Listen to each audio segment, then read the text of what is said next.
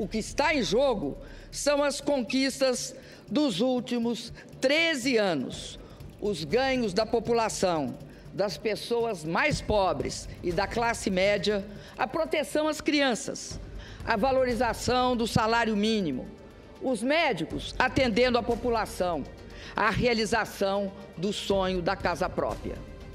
O que pretende o governo interino é um verdadeiro ataque às conquistas dos últimos anos. O resultado será mais pobreza. A revisão dos direitos e garantias sociais previstos na CLT e a proibição do saque do fundo de garantia na demissão do trabalhador são ameaças que pairam sobre a população brasileira